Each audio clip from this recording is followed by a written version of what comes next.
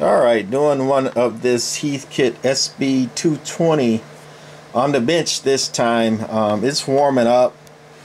Um, this one has been mono banded. It's got 10 meters in it only. There goes my four turns of coil.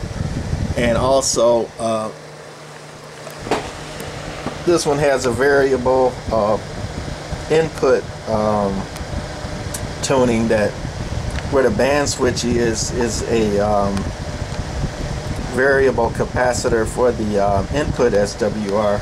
But one thing I wanted to show before I get into that on the bench while that thing's heating up is um, the late SB220s and the SB uh, 221s and also the um, Heathkit uh, HL 2200s they uh, some of them didn't have 10 meters in them they just had 15 through 80 meters. And what they did in those is they put in a block for 11 meters on the input side. So if you tried to run those amps on 11 meters, um, it was like a TVI trap, you know, where, you know, a TVI trap doesn't let the TV frequencies, you know, um, um, go through, or a harmonic trap.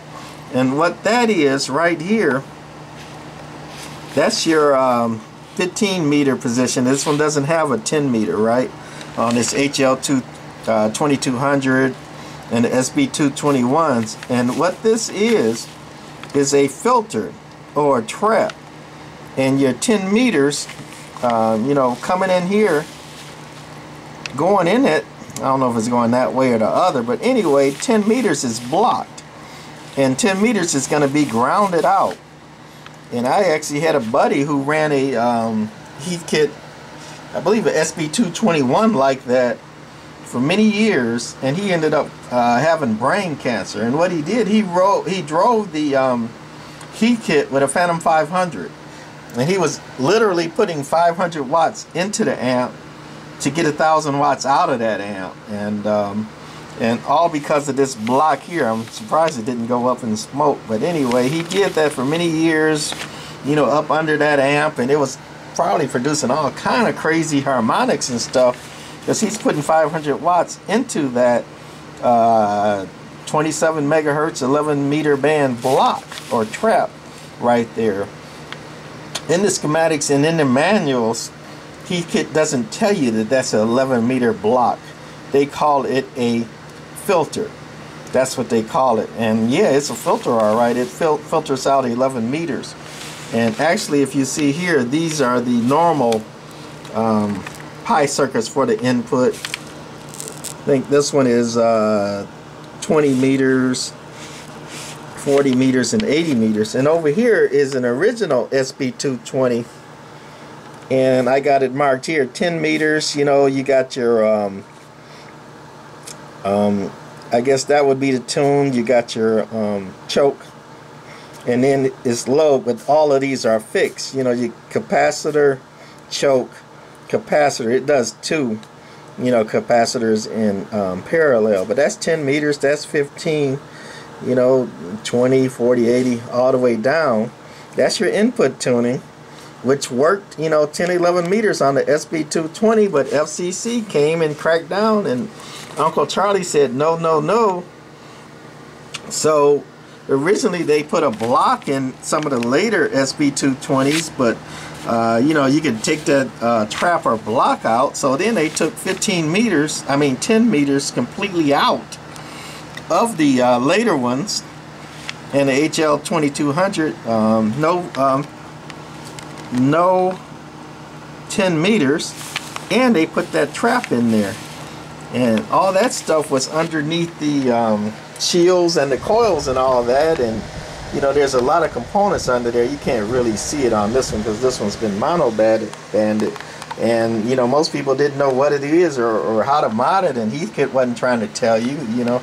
They just wanted to sell amplifiers to hams they weren't like that black cat one I had when they came with do's and don'ts like hey don't take out this trap and modify this into a, a, you know 10 and 11 meter they never did that I guess the FCC would you know spank him and you know Heathkit was a pretty big company and they weren't worried about CB money. So anyway, uh, I guess that's enough for me talking.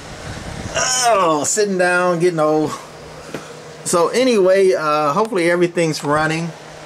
This watt meter here is just showing the input watts on the 200 watt scale of this um, Black Cat JB76, you know, going into it. Also, that watt meter there is on SWR, automatic computing. So it's going to show my input SWR. And over here, this one is going to show my output.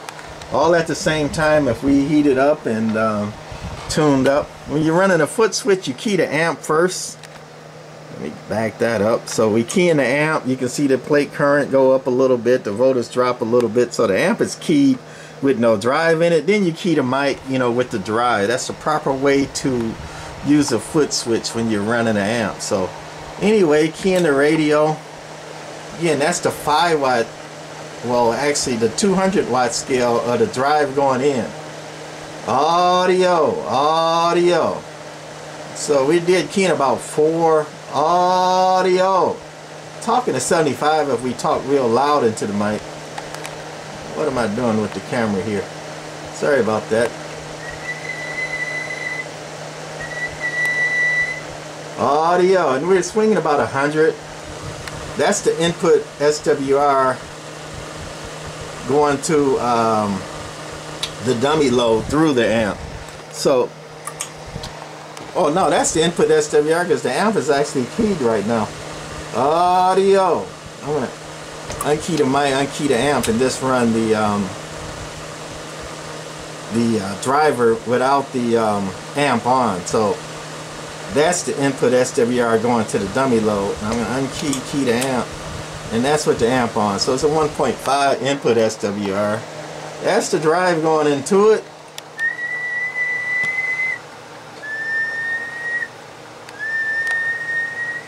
And we're whistling to about 900 RMS.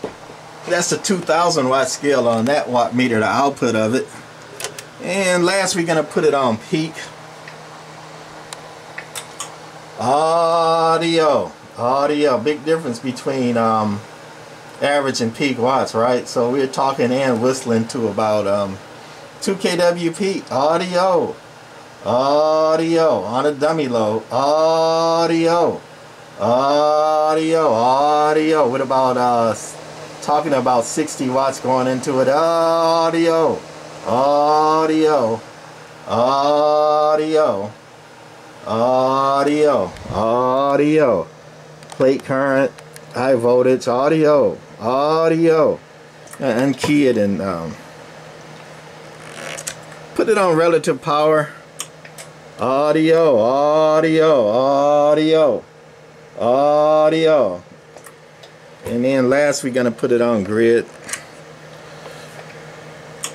Audio audio audio. Barely tickling the uh, grid.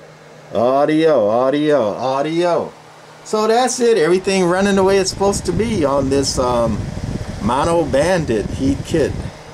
SB220 all right that's it for this one. Bye